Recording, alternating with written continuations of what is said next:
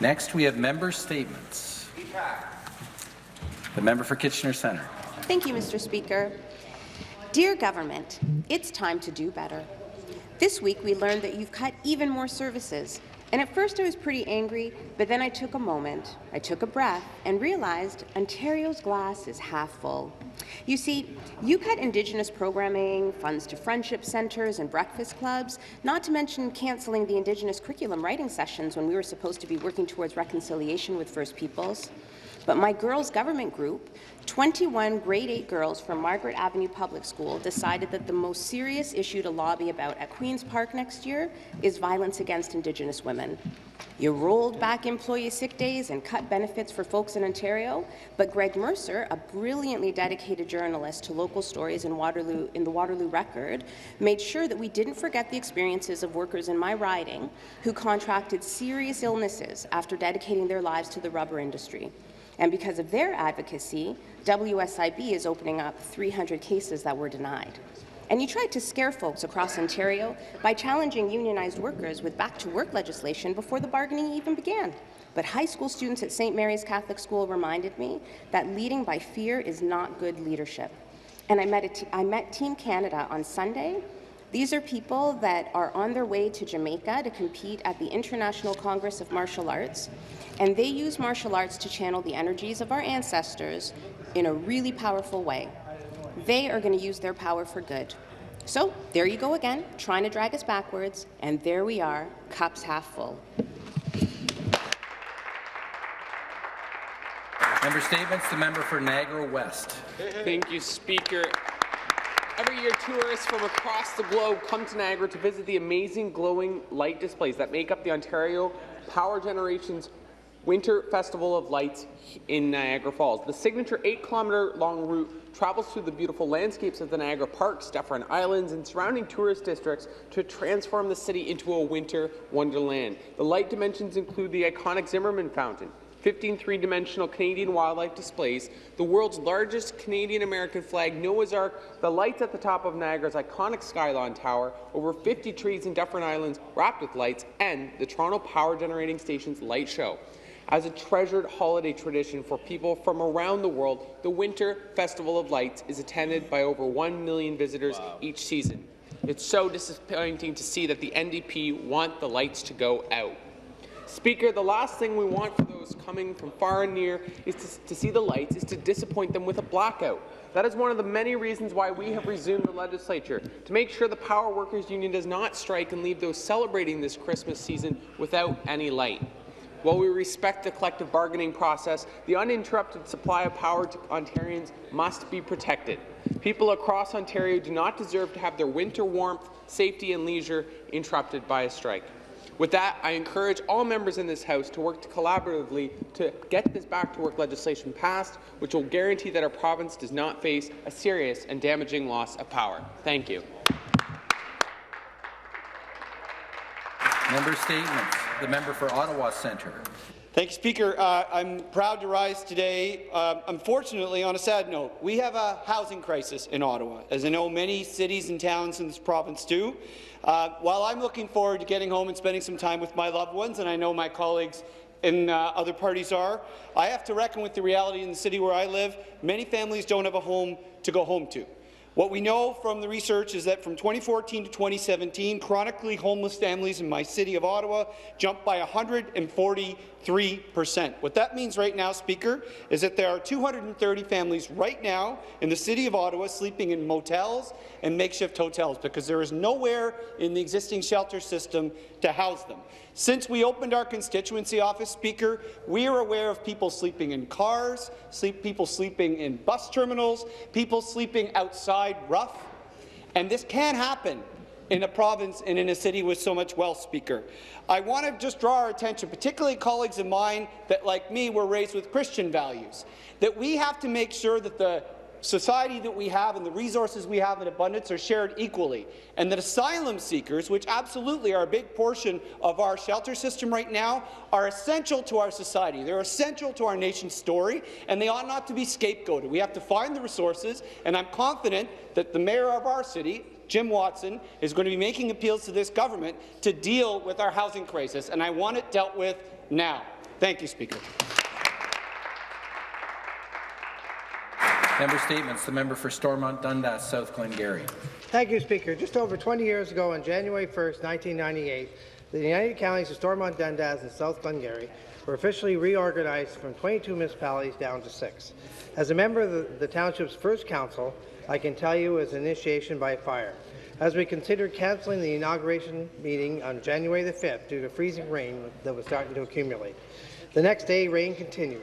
Power in our area became intermittent, and finally that night, the power went off for good. It would take more than a month to fully restore.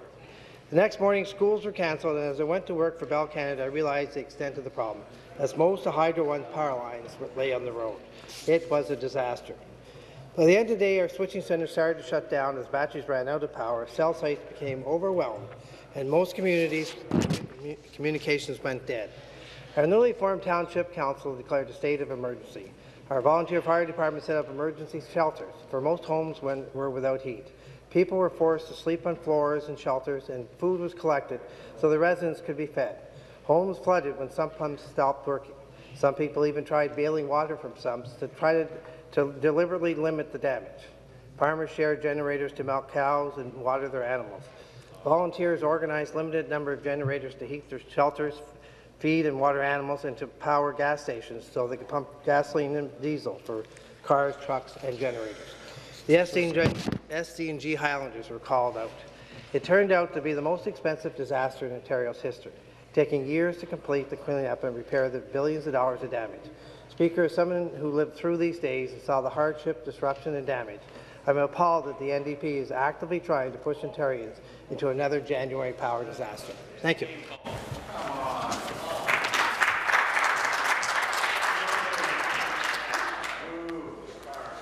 Member Statements. Member for Brampton Centre.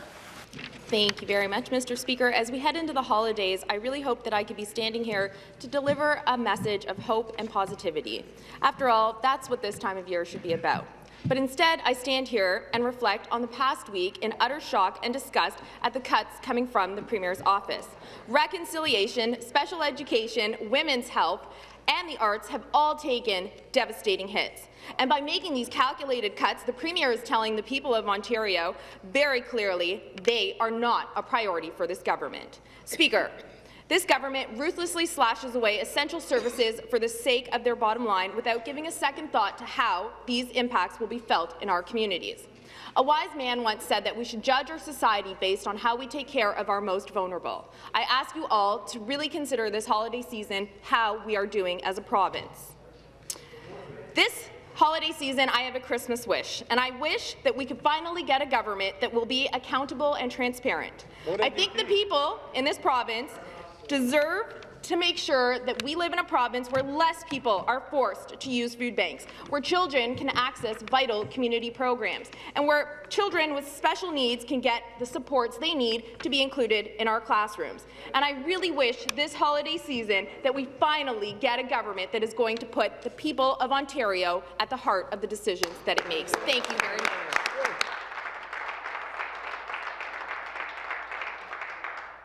Member Statements. The member for Orléans. Merci. Thank you, Mr. Speaker. Today and say thank you to our community of Orléans. Over the past week, there were two great events that truly highlighted the general. I have to interrupt the member.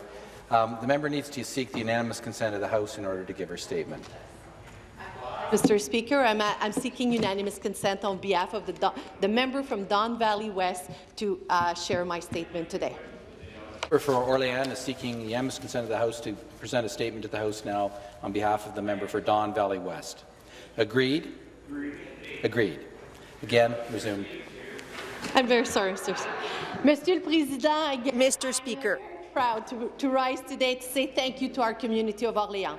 Over the past week, there were two great events that truly highlighted the generosity of our community. On Friday, I had a wonderful time hosting our third annual movie night, which brought together over 600 people.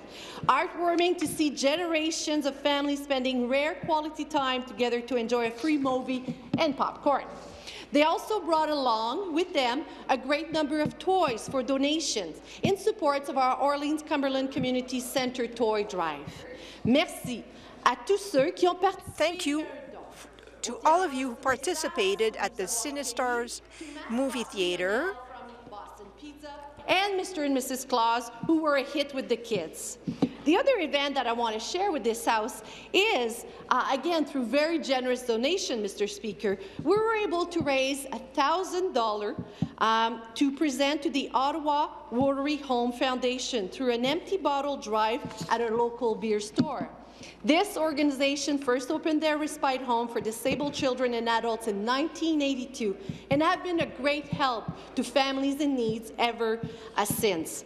So, as we are celebrating this holiday, I want to wish everyone in Orléans joyeuses fêtes, joyeux Noël, bonne Merry Christmas, happy holidays, and uh, Happy New Year. Merci. Member statements. The member for Burlington. Speaker. In the beautiful city of Burlington, we have one of the most impressive Christmas light displays anywhere in the province of Ontario. It illuminates the neighbourhood around Spruce Avenue. I am truly happy to see that the Mousson family is continuing this delightful holiday tradition started decades ago by their late father, Doug Mousson, a highly creative and talented, talented gentleman.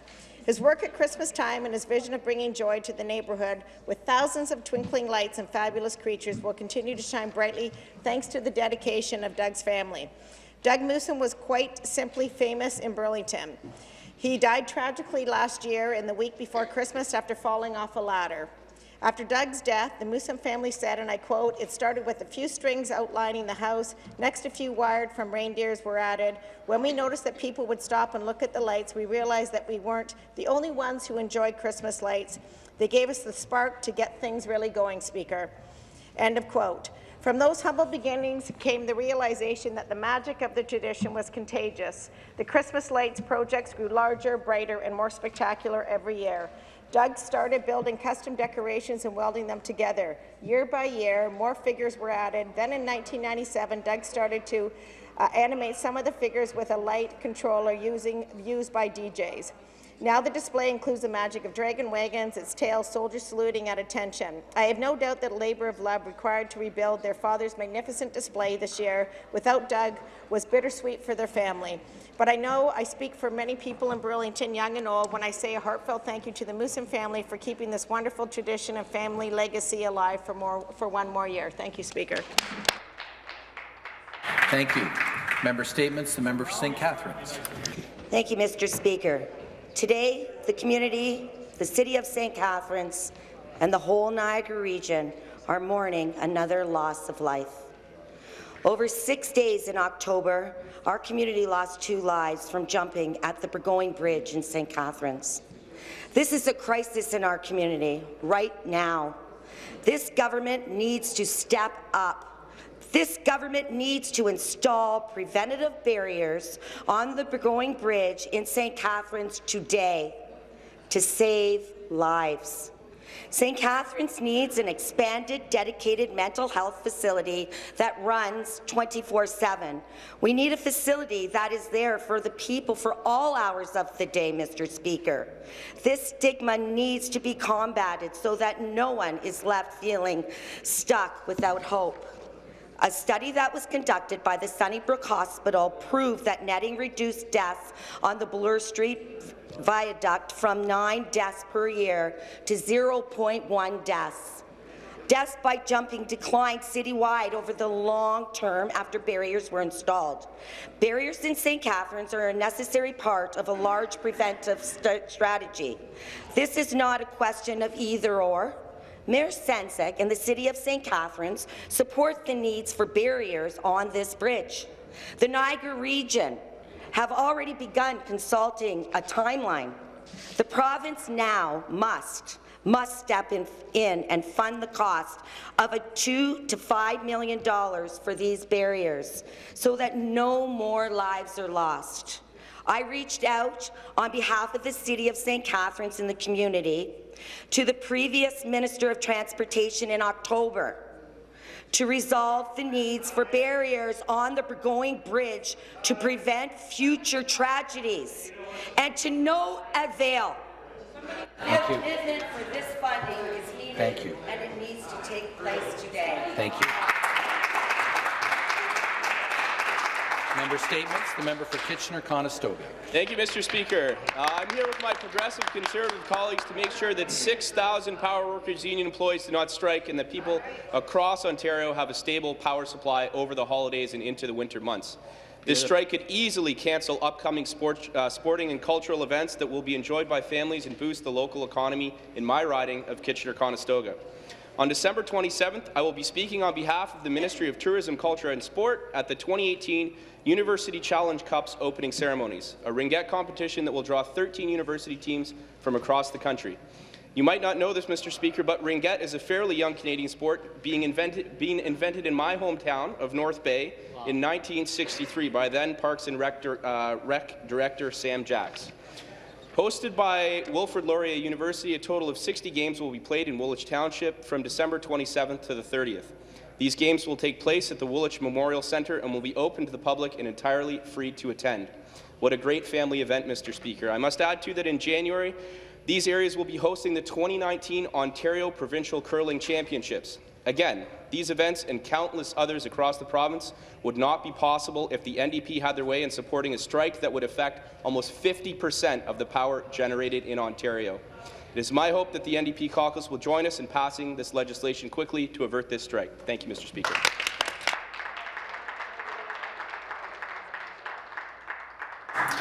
Member statements. The member from Mississauga Centre. Thank you, Mr. Speaker. It's great to see my colleagues back in the House this week. This illustrates our government's commitment to the people of Ontario and that their needs and well-being come first. Keeping the Christmas trees lit and stoves on as we approach the holidays is a priority for our government. Mr. Speaker, I was thrilled to participate in the Shoebox Project, spearheaded by the Attorney General and the Minister responsible for Women's Affairs, in which my office collected items such as shampoo, toothpaste, and small luxuries to fill shoeboxes, which were subsequently donated to women's shelters in the region of Peel. Amazing. I would like to thank all of my constituents who donated items with which we were able to fill 15 individual boxes. We also collected female hygiene products, which will be donated to Hope 24-7, Peel's Sexual Assault Centre.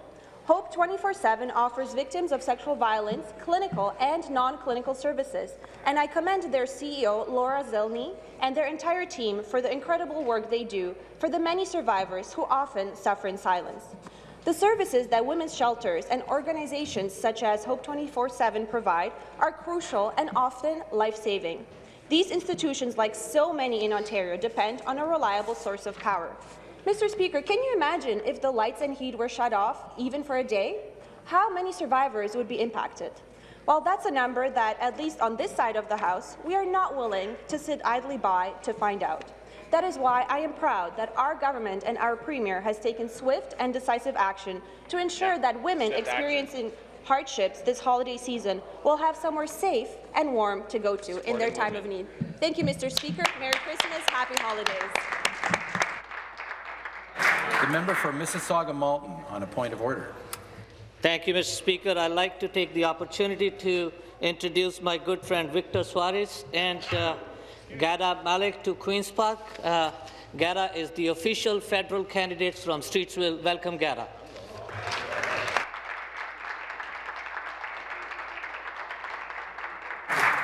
Point of order? Do you have a, do you have a point of order? Okay. Member for Mississauga Erin Mills on a point of order. Uh, point of order, Mr. Speaker. I just would like to take the privilege to introduce Mrs. Kamini Singh, who is now Mrs. Commonwealth Euro Atlantic from Canada. I also like to introduce Mr. Aspi Walia and uh, Gada Hamadani, present at Queen's Park. Welcome in Queen's Park.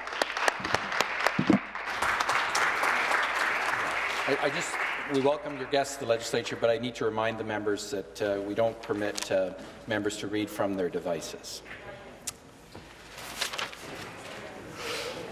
Reports by committees.